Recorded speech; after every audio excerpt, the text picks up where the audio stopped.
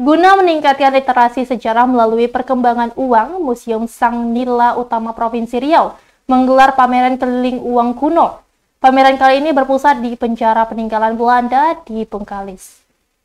UPT Museum Sang Nila Utama menggelar pameran keliling uang kuno. Kali ini pameran digelar di penjara peninggalan Belanda di Bengkalis. Pameran ini dilaksanakan selama tiga hari dan terbuka untuk umum. Sebelumnya pameran keliling ini juga telah dilaksanakan di Kabupaten Kampar dan Kepulauan Meranti. Salah satu uang kuno yang dipamerkan merupakan uang zaman Kesultanan Siak Sri Indrapura. Panitia penyelenggara Anto mengungkapkan, kegiatan ini merupakan agenda tetap tahunan dan Bengkalis menjadi lokasi terakhir pelaksanaan kegiatan pameran uang kuno tersebut. Yang pertama, eh, kegiatan ini dilaksanakan oleh Dinas Kebudayaan Provinsi Riau melalui UPT Museum Sang Nila Utama dan Taman Budaya Dinas Kebudayaan Provinsi Riau yang ada di Pekanbaru.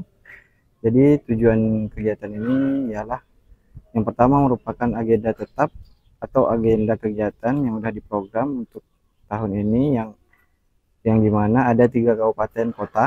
Yang pertama kemarin itu Kampar, yang kedua Meranti, dan yang terakhir ini eh, Kabupaten Bengkalis. Jadi tujuan utama dari kegiatan ini adalah sebagai edukasi kepada anak-anak didik eh, ataupun orang umum tentang uang yang pernah beredar di Indonesia. Melalui kegiatan ini diharapkan dapat menjadi sarana pendidikan dan mampu memberikan pengetahuan baru bagi pelajar dan masyarakat. Dari Bengkalis, Dede Moko, Devra Asrianda, Ceria TV melaporkan.